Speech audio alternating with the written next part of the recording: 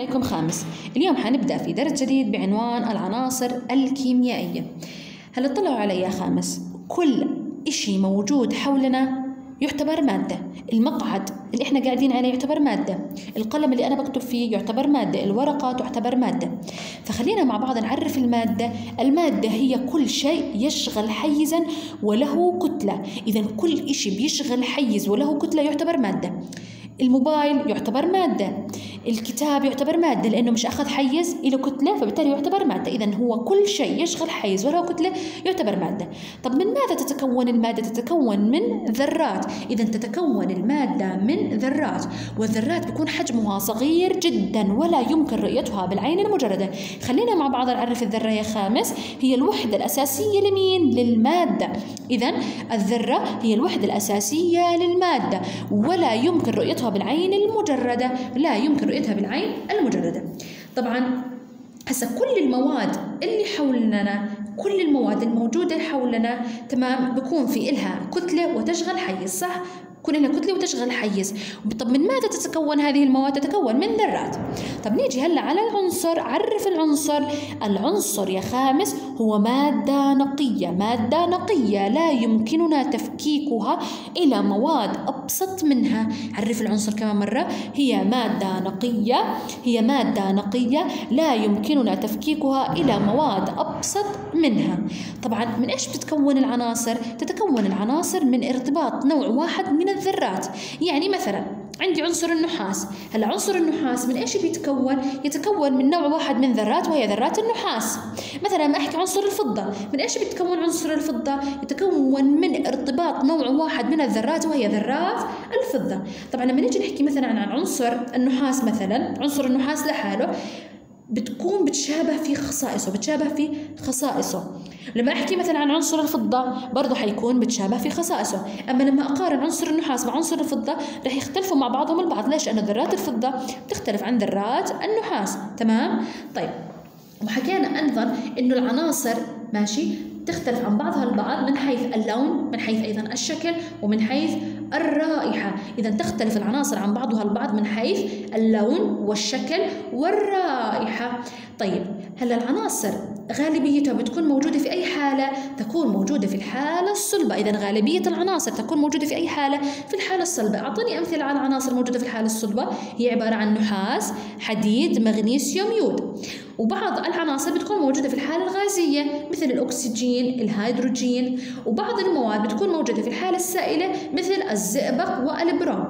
إذا حكينا العناصر تختلف عن بعضها البعض من حيث اللون والشكل والرائحة. وبعضها بيكون موجود في الحالة الغازية بعضها في الحالة السائلة وبعضها في الحالة الصلبة ولكن الغالبية بتكون موجودة في الحالة الصلبة طبعا إيش الوحدة الأساسية للمادة؟ ما هي الوحدة الأساسية للمادة؟ هي الذرة، هي الذرة. طيب يا أس خامس، خلينا مع بعض نحكي عن العناصر وأعدادها. عدد العناصر اللي تم اكتشافها من خلال العلماء بيزيد على 100 100 118 عنصر. إذا عدد العناصر اكتشفها العلماء بيزيد على 118 عنصر. طبعا العلماء إيش عملوا بهدول رتبوهم في جدول سموه جدول دوري. إذا رتبوه هاي العناصر في جدول يسمى الجدول الدوري طب ليش العلماء رتبوها في جدول دوري؟ لتسهيل دراستها لتسهيل دراستها. وأعطوا لكل عنصر رمز أعطوا لكل عنصر الرمز. برجع أعيد. عدد العناصر اللي تم اكتشافها بيزيد على 118 عنصر. فعشان هيك العلماء إجوا شو عملوا رتبوهم في جدول دوري رتبوهم في جدول دوري وأعطوا لكل عنصر رمز. وذلك لتسهيل دراستها. اذا ليش رتبوها في جدول دوري؟ لتسهيل دراستها. طب ليش أعطوا هذه العناصر رموز؟ أيضا لتسهيل دراستها. طبعا إيش رمز العناصر؟ رمز العناصر بدل مثلا ما أحكي عن الكربون اضل أحكي عنه كربون بالعربي أكتب ست حروف. شو حكوا العلماء؟ خلينا نجيب اسمه باللغة الإنجليزية. شو اسمه باللغة الإنجليزية؟ كربون.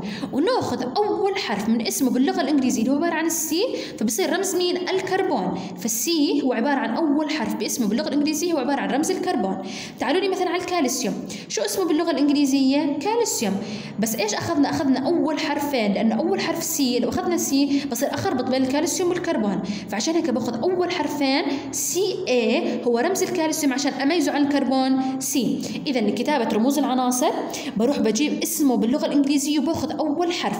طب متى باخذ أول حرفين؟ باخذ أول حرفين لما يكون في إيش؟ تشابه بالحرف الأول زي الكربون مع الكالسيوم. الكربون أخذت أول حرف C بس الكالسيوم ما باخذ بقدر أخذ أول حرف باخذ الحرف الأول مع الحرف الثاني. تمام يا خامس؟ طبعا مش مطالب منا نحفظ اسمه اسم الرم اسم العنصر بالإنجليزي. مطالب منا حفظ العنصر مع رمزه. الكربون رمزه C كالسيوم رمزه Ca الهيدروجين رمزه H أكسجين رمزه O نيتروجين N صوديوم رمزه Na بوتاسيوم K وحديد Fe حديد Fe خامس خلينا نفتح مع بعض على صفحة على صفحة 76 صفحة 76 طبعا هون بدنا نحفظ بدي تحفظوا لي العنصر مع رمزه. ما بدي تحفظوا لي خصائصه ما بدي تحفظوا لي خصائصه. بدي بس حفظ اسم العنصر مع رمزه. الهيدروجين رمزه اتش الصوديوم رمزه ان اي طبعا طلعوا الحرف بيكون مكتوب بحرف كبير capital letter. أما لما يكون عندي مثلا زي الصوديوم Na بكتب أول حرف الأول capital letter والحرف الثاني small letter. الألمنيوم Al البروم Br اليود I الزئبق Hg السيليكون اس اي الكبريت اس الهيليوم اتش اي والكربون سي بس بدي تحفظوا لي اسم العنصر مع رمزه. طيب يا خامس خلينا نحل مع بعض مراجعة الدرس. يلا السؤال الأول بما تختلف العناصر عن بعضها حكينا بتختلف من حيث اللون والشكل والرائحة السؤال الثاني المفاهيم والمصطلحات أضع المفهوم المناسب في الفراغ مادة نقية تتكون من نوع واحد من الذرات هي العنصر، إذا العنصر. الفراغ الثاني أصغر جزء من المادة ولا يمكن رؤيته بالعين المجردة هي الذرة. الذرة، اكتب رموز العناصر الآتية: الألمنيوم Al، كربون C والكالسيوم Ca، لازم. ن... لازم ندقق خامس إنه دائما الحرف أو الرمز لازم يكون ب capital letter لما يكون لحاله. أما لما يكونوا حرفين الأول capital letter والثاني small letter وميز بين الرمزي عنصري الهيليوم والهيدروجين. الهيليوم اتش اي والهيدروجين اتش ليش طبعا حكينا الهيليوم اتش اي أخذنا أول حرفين عشان ما نخربط بين الهيليوم والهيدروجين. والنيتروجين والصوديوم برضه النيتروجين N والصوديوم Na هذا مهم نحفظه. طب ما أهمية استخدام رموز العناصر للعلماء؟ تسهيل دراستها لأنه عددها بيكون كثير كبير فعشان هيك تسهيل دراستها استخدمنا رموز العناصر. اختر الإجابة الصحيحة. رمز عنصر المغنيسيوم شو راح يكون؟ Mg رمز عنصر المغنيسيوم Mg راح ناخذ ال M مع ال G الحرف الثالث Mg لهون يا خامس بنكون أنهينا درسنا ويعطيكم ألف عافية.